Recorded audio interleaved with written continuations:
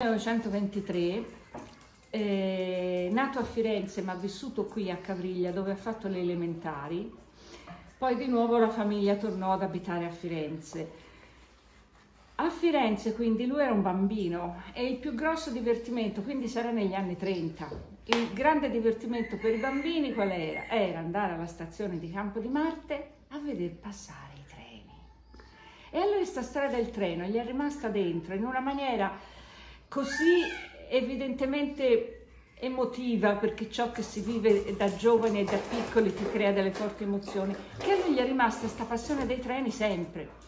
Infatti anche i treni li chiamava per nome, la 730 delle officine Breda, era amico di tutti i macchinisti e di tutti i ferrovieri del Valdarno e, ehm, e insomma un giorno ma noi eravamo già più che adulte, questo è successo una 35 d'anni fa. Un giorno eravamo a cena con lui e siccome conoscevamo nostro padre ed era uno che viveva anche molto di sogni, eh, di sogni scientifici ma anche di sogni, e ci disse mentre eravamo a cena, bimbe io voglio un treno. Noi dicevamo, vabbè, una delle solite sue sparate davvero, va, va, sì, vai, piglia un treno, gli dicevo, sapendo che non si sarebbe realizzato. Lui cominciò a fare il viottolo a Ministero dei Trasporti, ferrovie, dirigenti delle ferrovie dello Stato, eccetera, eccetera. Chiedeva appuntamenti, si faceva ricevere, lo ricevevano e, e gli dicevano mi dica.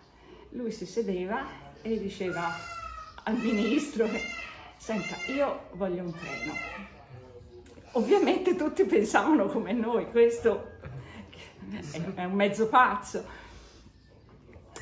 Eh, dicevano guardi non è possibile perché noi i treni, anche quelli dismessi, non eh, li diamo a nessuno perché rimangono proprietà delle ferrovie dello Stato e comunque non li diamo ai privati. Noi a quell'epoca avevamo istituito la Fondazione Rose, eh, Roseto Botanico di Cavriglia e, e quindi mio babbo subito rispose eh, ma io non sono un privato, sono una fondazione. Mi dissero, guardi, noi non diamo i treni, ma anche quando sono tutti da rottamare, rot eh, non si può. Lui veniva via, dopo due mesi richiedeva un appuntamento, si faceva riricevere, diceva, io voglio un treno. Per questo durò due anni.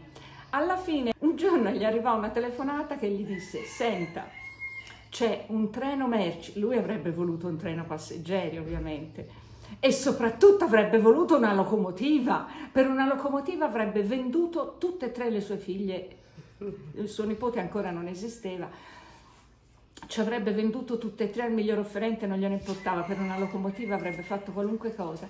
Invece gli arrivò una telefonata e diceva, senta, c'è un treno merci eh, dismesso e già deamiantizzato al, sul binario morto della città di Cortona, della ferrovia di Cortona se lo prenda, noi non possiamo né venderlo né affittarlo, è da lei diciamo in una sorta di comodato, come in prestito, rimane sempre di nostra proprietà, proprietà delle ferrovie dello Stato, presso eh, la sua abitazione, un treno presso un'abitazione già. Eh. eh. E così penso che arrivarono quei quattro vagoni, penso con quattro viaggi distinti di carichi eccezionali, di trasporti eccezionali. Io non so come fecero a passare dalle curve di Santa Lucia, non, non ne ho idea perché non me lo ricordo, non c'ero. E, ehm, e lui in fretta e furia organizzò questo binario con le longarine di cemento, non avendo a portata di mano le longarine di, di legno, e sistemò questi quattro treni che a noi sembravano un orrore. Ovviamente le ferrovie dello Stato ci dissero non potete verniciarli sull'esterno, non potete togliere le scritte, perché rimane comunque di proprietà nostra. Nell'interno potete farci quel che volete, ma nell'esterno no. A noi ci sembrò tanto brutto, o voi lo vedete degradato, quando arrivò era ancora un treno merci dignitoso, diciamo così. E, ehm, a noi ci sembrò orribile, passava mia sorella Antonella che diceva che orrore, sembra quello dove ci trasportavano gli ebrei per i campi di concentramento. Passava mio figlio che era piccolo e diceva che orrore mamma, sembra quello dove portano le povere bestie al macello, tutte. Passava il mio babbo e diceva, ah, il mio bel treno. Apro le finestre la mattina e vedo il mio bel treno.